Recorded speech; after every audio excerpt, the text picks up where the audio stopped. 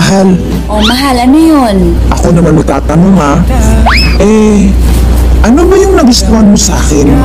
Siyempre, mabait ka, mapagmahal, at gwapo. O, diba? Wow, ang sweet naman ng mahal ko. Eh, ano naman yung hindi mo nagustuhan sa akin? Um, hindi ka pa kasi tuli.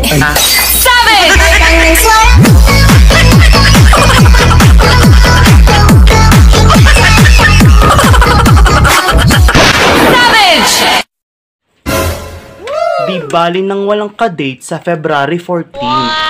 Basta may regla sa March 15. Ka, kanina pa ako nag-aantay doon sa likod. Hindi ka pa rin tapos dyan sa kasasampay mo. Baka lang di ka nang hinayupak na ito. Akala mo talaga may matres.